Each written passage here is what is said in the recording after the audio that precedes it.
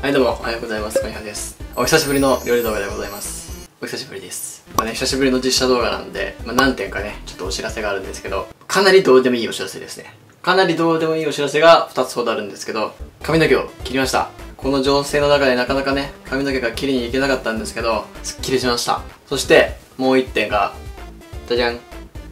エプロンをね変えました。本当に昔の料理動画はねエプロンしてたんだけどなぜかね最近の料理動画って全然エプロンしてなくてちょっとねあった方がいいかなと思って買いました。ひま猫。猫です。なんかね2000円ぐらいのエプロンとかもあったんだけど全然100均ですこれ。うん。100均のエプロンですこれ。これどうやんだろう？これで合ってんのかな？こうかな？これで合ってる？なんかなんかなんかおかしいねこれおかしいと思うみんな。ちょっとコメントしてくんない？これ。合ってる？合ってるよね。というわけでですね、えー、今回、えー、何を料理していくかというと豚肉とキャベツ。自炊あるあるなのか分かんないんだけどもう最近料理する時って冷蔵庫に入ってる具材で検索するんよ。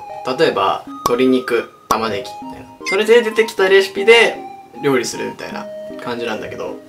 まあ、今回もね、それでやっていこうかなと思います。で、今回冷蔵庫の中に入ってるのが、豚肉とキャベツなので、豚肉、キャベツと検索して、上の方に出てきた料理を今回作っていこうかなと思います。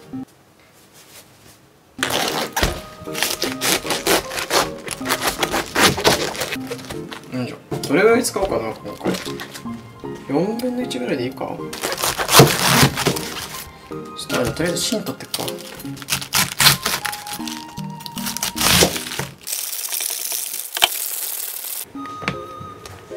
したらこれをね水にさらします。豚バラ肉を塩コショウで下味。そしたらさっきのキャベツを巻きます。見た目が。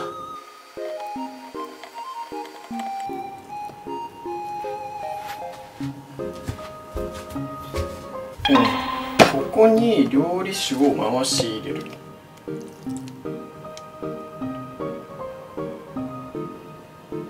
こんなもんと見た？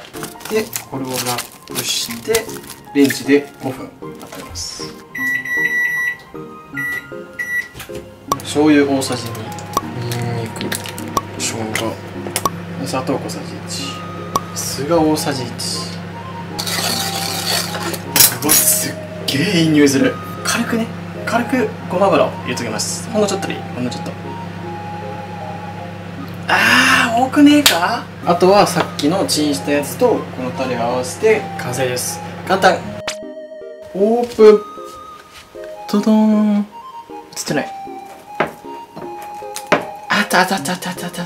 このねいい感じのお皿にちょっと盛り付けていきます。頼む。崩れないでくれ。頼む。あ結構しっかりしてる。いいかも。これはええこれお酒じゃない？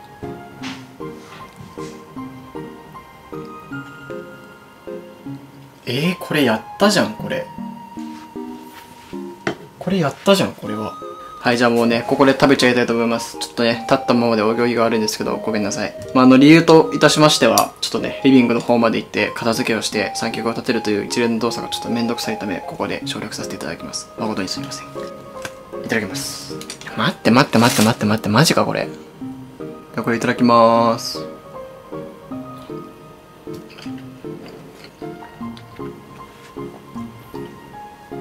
かうめえ。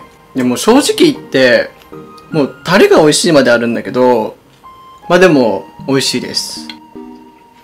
うん。ちょっとこれから編集するんでお酒は飲めないんですけど、もしもね、この動画を成人している方で見てる人がいたら、ぜひこれやってください。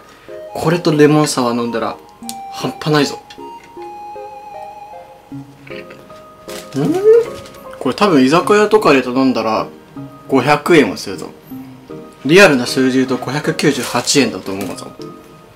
ごちそうさまでした。はい、というわけでですね、まあ、今回はレンジでお手軽豚キャベツ巻きやったんですけど、これからどんどんね、料理動画上げていければなと思っていますので、まあ、今日はね、これぐらいの軽い料理でちょっと勘弁してやろうかなと思います。はい、というわけでまた次回のゴニハズキッチンでお会いしましょう。